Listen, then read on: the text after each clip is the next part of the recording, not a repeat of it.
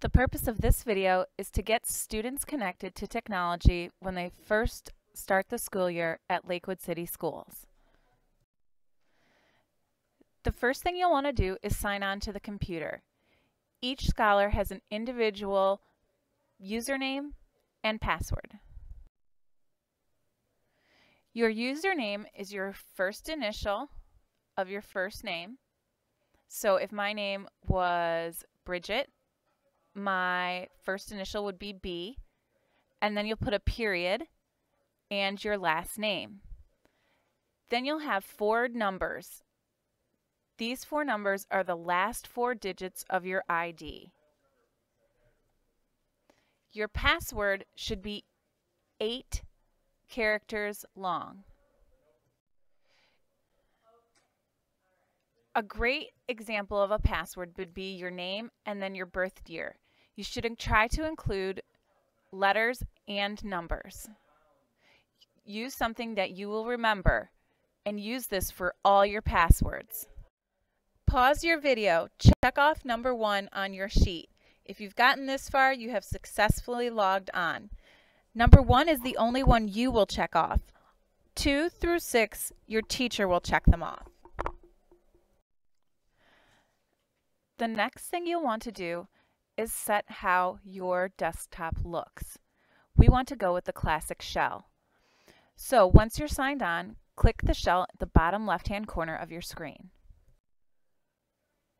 Next, you'll click Programs. Then you'll click Classic Shell.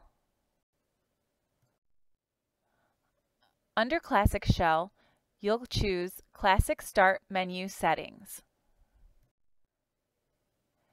Next, you'll click on the middle picture.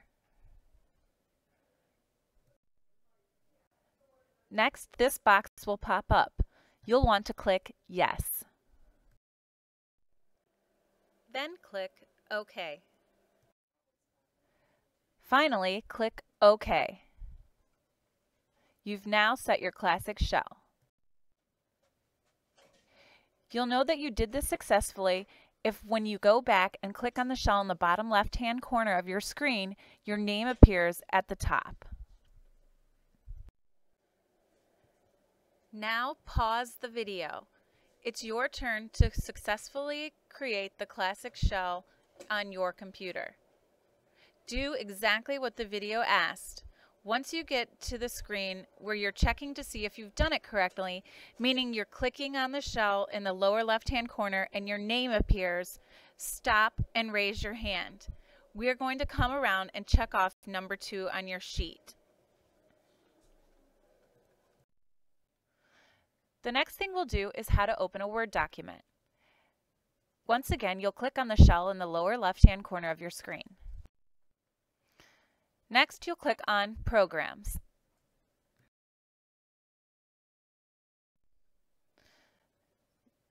Then you'll click on Microsoft Office 2013. After you click on Microsoft Office 2013, you'll click on Word 2013. Next, select Blank Document. Click on it. This will pop up when you open Word. You're going to click in the circle to the left of Use Recommended Settings, and then click Accept in the bottom right-hand corner. Next, you'll want to click Yes.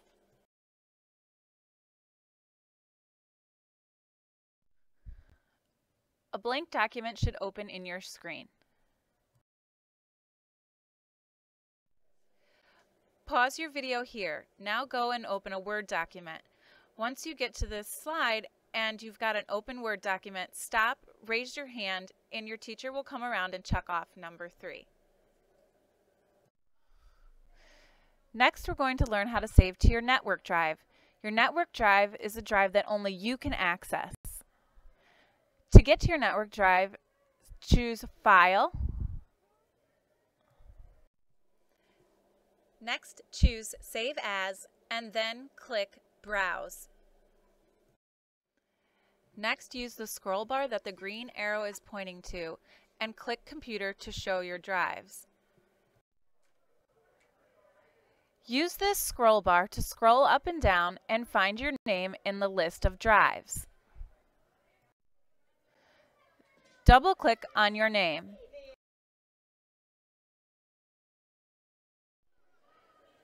Next, you're going to want to name your document.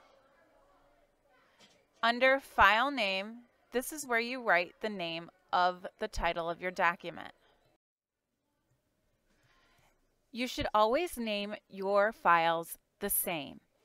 Start by typing your last name, a dash, and then the first initial of your first name. Then you'll type an underscore and the project name. For example, my project's name is Georges-A underscore all about me. To make a dash and an underscore, you're going to use the same key look at where the arrow is pointing on your screen. That's the dash. To make the underscore, hold the shift key down and hit the same key. Now you've made an underscore.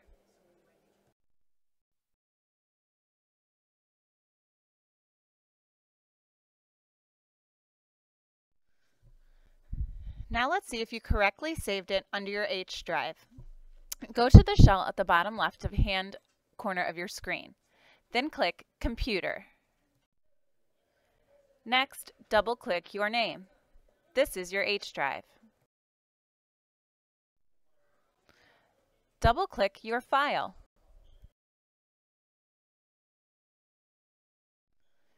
Stop here. Raise your hand. Your teacher will be around to check off number 4.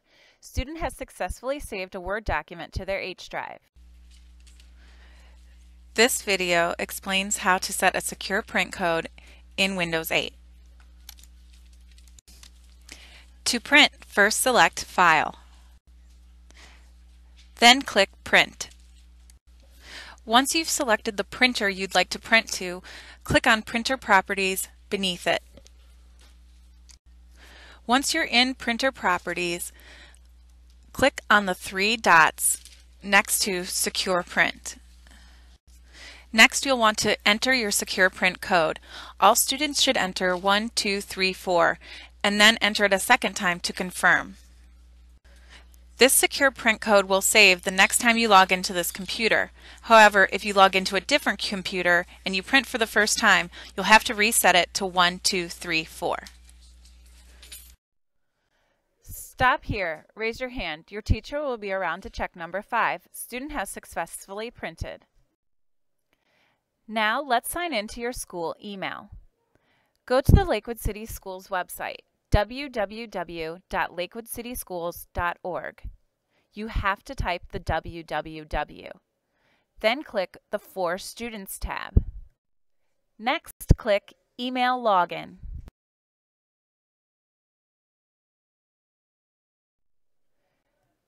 This is the login screen for your email. This is your school email and cannot be used for anything other than school related things.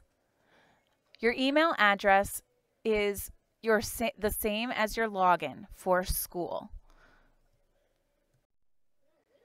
For example, it'll be the first initial of your first name, dot, your last name, and then the last four digits of your ID at lakewoodcityschools.org.